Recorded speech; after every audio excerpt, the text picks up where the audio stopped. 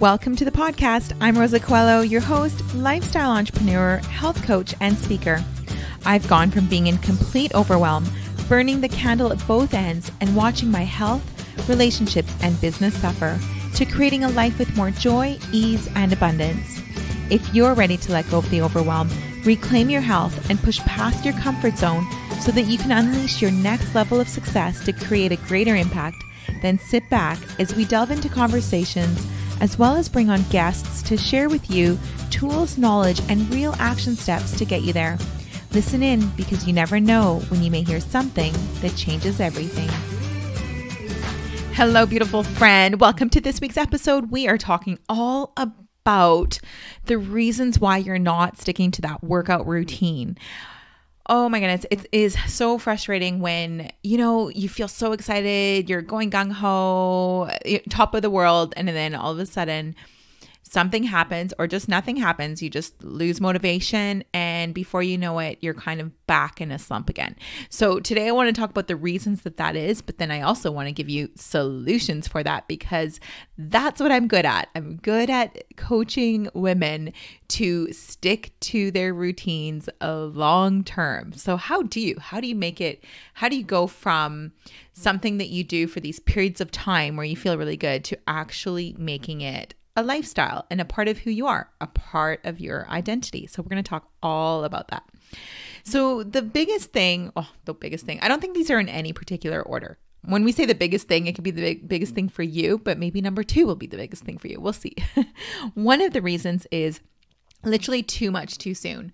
So, you have those times where you're like, okay, that's it. Something's coming up, whether it's a wedding or whether it's a holiday, or, you know, you just have a moment of frustration where you're like, okay, that's it. It's time to get in shape. And then you're like, okay, I'm going to go to the gym five times this week, or I'm going to run, you know, every day this week, or I'm going to like, you just go all gung ho and I'm going to cut this out and this out and this out of my diet. And I'm just going to go for it. And this is it. And I know I'm going to be motivated and I'm going to feel so good. But it's just such a shock to the system and not only just your body, but also um, just a total change in routine. So here you have your everyday life that you've already had all these habits and patterns, and all of a sudden you need to add this to it, and it can feel really overwhelming once that motivation starts to die down.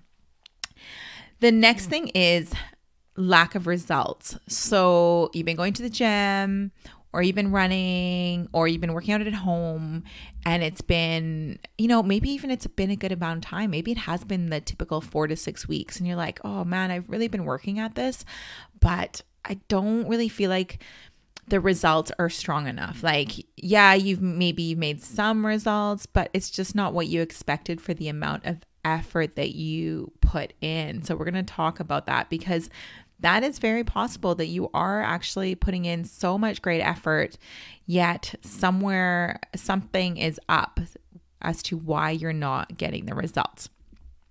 And number three is just lost motivation. And that happens you know, we have that really excited feeling. We're on top of the world. We're so like in that moment, feel such conviction of what we want, what we desire, what we're ready to do, what we're ready to sacrifice. And then for whatever reason, it just disappears, whether it's because you've become overwhelmed or something has changed in your life or work has become really busy or um, you're just feeling really fatigued it could just be a number of things, but that motivation has disappeared. And you're like, where is it? I need you back. Because it's not like your desire for what you want for yourself goes away, it's just the effort that it takes to get what you want. Okay, so let's talk about the actual solutions to these issues. So, the first one I want to talk about is the doing too much too soon and going all gung ho out of this world crazy with it. Oh my goodness. That is one of the, that is really definitely something that um, I see a lot and have experienced it myself. Everything I'm talking about isn't just experiences that I've had with clients, it's things that I have gone through in the past as well. Um, definitely before my training and health coaching days, and then even in the early days. Now it's not so hard for me because training and health coaching is what I do. It's really part of my identity and I and it's um part of my job. So that makes it easy. But do you have to make it your job to become healthy? Definitely not. so, what I always recommend is choosing or having, writing down what your bare minimum is. And this I do for myself even to this day. So, by bare minimum, I mean, okay, I am committing to my bare minimum is one strength training day a week and one interval training day a week. Yours might be two strength training days a week, and that's it. Yours might even be one strength training day a week or one workout day a week. Whatever your minimum is, there's no wrong. It's just that's what you're going to do. And anything else you do is a bonus. This is so important because what it means is maybe typically you're doing like I I personally feel really good strength training 2 to 3 days a week, doing one interval training day a week and then also um, walking every day between that. And that feels great for me.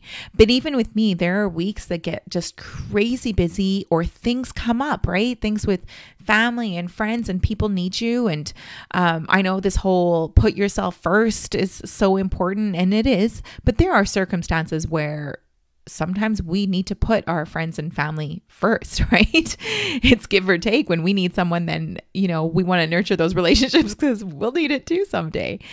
Um, it doesn't mean put yourself last. But if you have this idea of bare minimum, then on those weeks where possibly you had to say yes to other things, then you still get that bare minimum in and you're not beating yourself up about it. You're not feeling guilty about it. You're like, okay, I still made progress towards our goals goals. Because if you look at the course of an entire year, you're not going to have those crazy weeks every single week. And if you do, then you know, I'm going to suggest that you really look inwards and look at your lifestyle and look at where you can make changes because that's means you're likely living with chronic stress and that's not a good place to be in.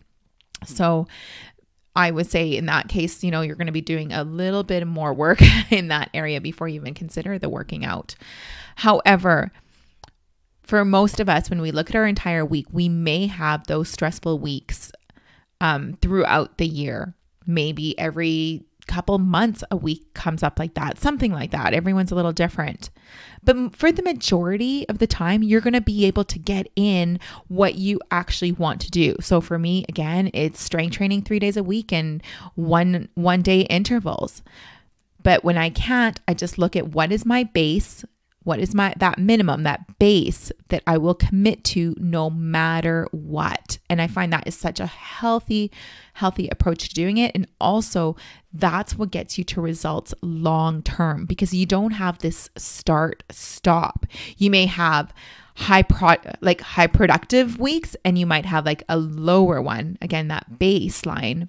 However you don't just give up. You don't just quit and start and have that whole feeling, that whole guilt cycle comes and that starting and stopping thing, which is not healthy. Do we ever really start stop? I mean, we're just living life, right? like so I'm not a big fan of that whole mentality either. But again, commit to what that base is and that will make a huge difference. Okay. So that's how you get over the too much too soon. Yes, it's okay to go. I think it's actually okay to go gung ho if you want to, if you're feeling feeling like that's where you want to be. However, have that minimum for when that motivation will dwindle because it will. We know that we don't, we're not riding high all the time, like soaking in that motivation. Okay. Number two is let's talk about falling in love. Let's talk about lack of motivation. That's a really important one. I'm just numbering these as I go along. Um, lack of motivation. So, how do you, you know, if if personal trainers or health coaches or nutritionists could motivate their clients to results, like everyone would have 100% of their clients getting results all the time. It would be absolutely amazing. But that doesn't happen even for the very best of trainers. Why? Because health coaches, trainers, nutritionists, all these people out there to help you make a difference are not there to motivate you. Motivation is something so um like what's the word? Fiscal is that a word? I don't know. Just it comes and goes and only you can really motivate yourself. What a good health coach, trainer, nutritionist will do is one teach you, teach you the knowledge that you need to know exactly what to do to get to your goals, but also how to fall in love with discipline. And I love this. Fall in love with the discipline of achieving that bare minimum that we talked about. And uh, you know, the word bare minimum sounds so like, oh, that's never going to get me results. It, of course it's going to. It's just how we're let's talk about that base. Let's change it from bare minimum to the base. I kind of interchange those a lot. Um so fall in love with the discipline, fall in love with, you know, that feeling where you didn't want to go do that workout or you didn't want to make that good food choice habit or whatever it is. You didn't want to go to bed early, even though you know, know that you needed to in order to get a good night's sleep to feel great the next day. But you didn't want to do it, but you did it anyway. Oh, now that feeling, that feeling is better than any motivation and that feeling the more you practice practice that feeling the more solid it will become and the more disciplined you will become and that, my friend, is where results come from. They come from those moments where you didn't want to do it, but you knew it was the right thing to do and you did it anyway. Those are the moments when we talk about self care, putting yourself first, all this kind of stuff, or like you know, self care, we talk about bubble baths and doing our nails. And I mean, all those stuff, all those things are beautiful. I always talk about how I love those things, but that's not true self care. True self care, the definition of it, in my definition of it, is when you say yes. Yes to yourself. Yes to the thing that felt hard, but you did it anyway. Because here's the thing it's not going to feel hard forever. It's going to eventually become a habit. It's eventually going to become lifestyle and it's eventually going to become your identity. And that's a beautiful thing when all these good habits that are in place are just something you do. No one questions it. We all know that person that's like, "Oh yeah, they always go to bed at 9." Oh, don't call them. It's it's too late to call them. Like they don't care. That's the yes that they've said to themselves. We all, it's become part of their identity. We all know that person and we're like, oh yeah, they're they just go to the gym at this time or they just work out or don't interrupt them here because this is what they're doing. Like it's part of their identity and people around them know it. And that's a beautiful thing. So again, fall in love with the discipline, not with motivation. Whenever you have motivation, I mean, embrace it. It's like the best feeling, right? It's like the cherry on top. Who doesn't love feeling motivated? It's such an exciting, exhilarating, awesome feeling. So, throughout the year, when you tap into those moments of motivation, like love them. Like, that's awesome. Motivation is often what gets us that kick start, like that little jump start. And that's a beautiful thing. That's a great reason. And that's okay to use that motivation to start things. However, be aware that it does dwindle. It kind of, I like to think of it as in waves, right? It comes in waves. It's not like when you lose motivation, you're never going to get it again, or when you have it, that you're going to keep it forever. It's like waves. So ride that wave when it comes in. And when it's not, tap into that discipline because it's the discipline that's going to get you the results. And I wish that we would talk more about this and stop looking to others to motivate us, but have look for people that are willing to teach you the skills, the habits that will get you results and so that you can turn them into these beautiful little areas of discipline where you are saying yes to yourself even when it feels hard. Okay, the third one is I have this is one of my favorites. No no results or not enough results. What? I was actually it's funny. I was actually originally going to talk call this podcast episode I'm the most boring trainer in the world. but I changed my mind to the what um I changed my mind to what I was going to title it. However, this is part of the topic that I want to talk about. And that's that as a trainer, I am extremely boring. my clients will tell you we do squats, lunges, push ups, pull ups, uh, deadlifts, stiff leg deadlifts, Bulgarian split squats, bear crawls. Like, we, I do not have you balancing on a Bosu ball with on one leg doing a bicep curl while jumping onto another i don't know I'm just I can't even think of it but here's the thing I am not here to entertain my clients. And there are some very specific strength training moves that get you incredible results when it comes to building muscle.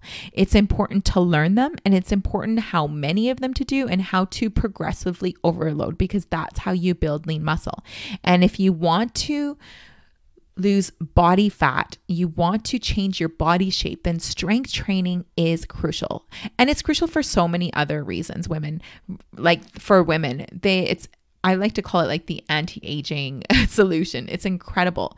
Having lean muscle is key to staying injury-free. It's key to longevity. It is just key to everything. And if I could tell give women one piece of advice, like if I were to say there's only one workout you're allowed to do, above all else, I would say, and walking not included because walking is just something we should do every day. But let's say we're talking Zumba or we're talking interval training or we're talking uh, yoga or we're talking talking whatever it is. I would say if there was only one, I would say strength training. Now, do I believe strength training is the only thing we should do? No.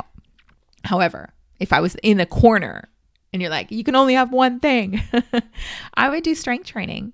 And the reason is when you strength train properly as well, uh, you're also going to become more flexible. And this isn't a reason why I don't go too many classes because so often in classes, they are having you do things that are still a little bit old school. I mean, I had this happened recently. I'm sure my friend's listening in because I went to the class with her.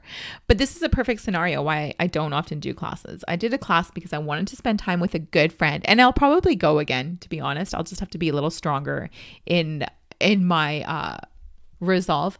But basically, what happened is we were doing Bulgarian split squats. So if you don't know what that is, it's when you put your one leg um, up higher and you're in um, kind of like a lunge position, but you're not going to be moving your feet. And then you just drop your knee down and and up. So it's like, anyways, it's like a split squat. Um, so what happened was I instantly had my friend and a couple of the trainers beg, like coming to me and telling me, oh my goodness, your knee's going over your toe. Don't let that happen. Don't let that happen. That's so bad for you. And I was like, oh gosh, I don't want to be that person. And so I let it go. I listened. I thought it wouldn't ha- make a big difference. But I'm telling you, for two weeks, I had knee pain.